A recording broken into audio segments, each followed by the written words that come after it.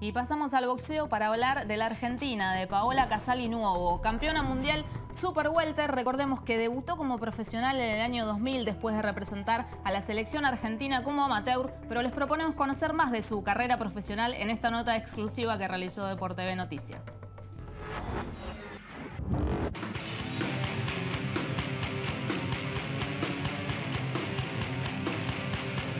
Estoy muy feliz por lo que al día de hoy hice, ¿no es cierto? Eh, fue, fue una pelea complicada porque una rival complicada.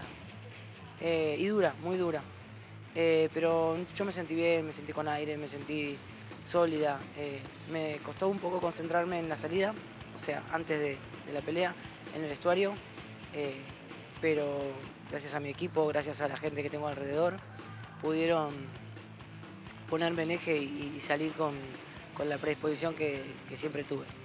Y la verdad que yo no, no tenía exactamente la imagen, pero sí quería que se cayera, que sí que quería que se, que se esparramara, vamos a hablar mal pronto, pero básicamente quería hacer una, una pelea de menor a mayor. Eh, por momentos tuve situaciones en las cuales me quedaba un poco quieta pensando, cosa que no, no debo quedarme tan quieta, pero bueno, es parte de mi, de mi novatez como, como mundialista, ¿no?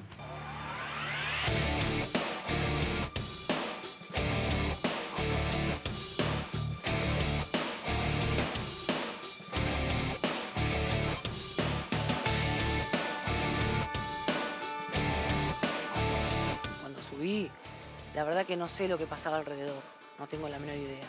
Eh, la ansiedad también un poco se me notó y los nervios de, novata, como digo, de nunca haber peleado tantos rounds. Yo sabía que tenía nafta para eso y para mucho más porque acá estábamos en el gimnasio peleando más de 10 rounds.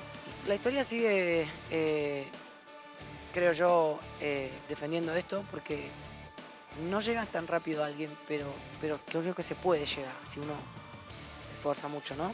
Nadie te regala nada. Y admiro mucho a todas estas campeonas que defienden sus títulos. Y ahora creo que viene la parte, como yo, el, camino de embudo. Eh, y bueno, ahora se ve en la cancha los pingos más todavía. Porque aparte la gente quiere, y vos misma querés probar, probar, probar, a ver si realmente te puedes bancar esto, ¿no?